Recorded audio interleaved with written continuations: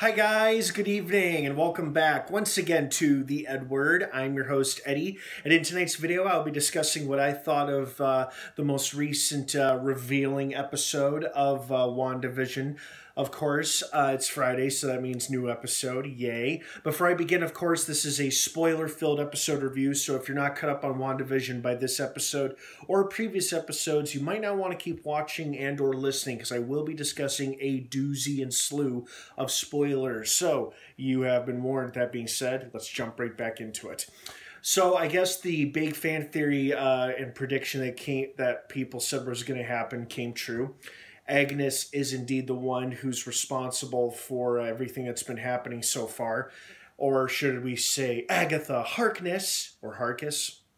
Here's the thing I have no idea who that is. My comic book knowledge is very, very limited, if non existent. So I have no idea who or what Agatha Harkness is. She's obviously a magical, powerful sorceress woman, much like Wanda. So her powers and skills seem to match that of Wanda's. So, uh oh. And she seems to be using them for nefarious purposes. And she killed the dog! Oh, that was dark. So very dark. God damn. I also loved how this episode made fun of the whole mockumentary style of a TV show like Modern Family, or in this case, The Office was parodied, which was done very well in that opening credit sequence. That was awesome. Um, I love the fact how you know towards the end, Vision there realizes that while he's being interviewed, that he doesn't have time to sit and be interviewed for like a mockumentary or documentary. That he needs to get to work and figure out what the hell is going on, and so he just up and leaves the interview, rips the microphone off, you know, and then just gets out of there, which I always thought would be the funniest thing to see in one of those mockumentary shows. I think The Office might have done it once or twice, but not as frequent or as often as you might think. So I thought that was pretty good.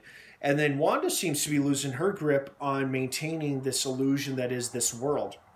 The but uh, you know, with only two episodes to go, I guess that's kind of to be expected because the show can only end with the um, collapse of this fantasy bubble, and um, you know who knows what's going to happen after that. So and then the other thing too that I really liked is that Monica apparently got herself some superhuman superpowers. You know, she forced herself through the bubble, and um, must have like I think Wanda's magical bubble thing gave her powers or superhuman strength because her eyes turned sky blue or light blue, and then she seems to be able to, uh, you know, deflect. Um, a, a hit from Wanda, you know, from her power and energy, which means that she'll probably be a pretty good formidable match for Agnes if and when that confrontation occurs.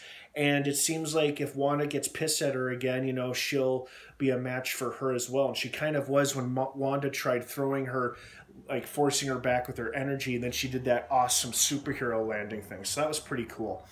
Um, so yeah, overall, very good show. Very happy that Monica now has superpowers. You know, we got our big villain reveal. You know, that was the question in everybody's mind. Like, who was this? You know, who is doing this to Wanda and why? So we got the identity confirmed of as to who's doing this. Now the next question is why?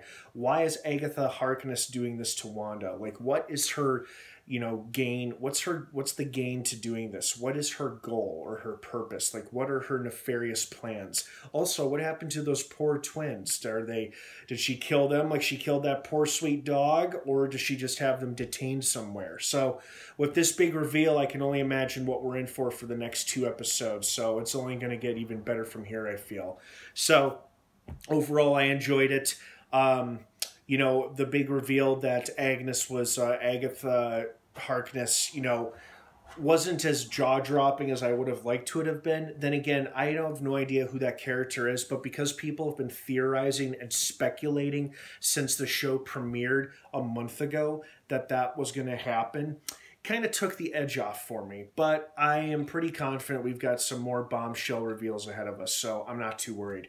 Hope you guys enjoyed the show as much as I did. What did you think of this episode of WandaVision? I want to hear from you guys. Thank you so much for watching. Have an awesome rest of your night. And of course, until next time, may the force be with you.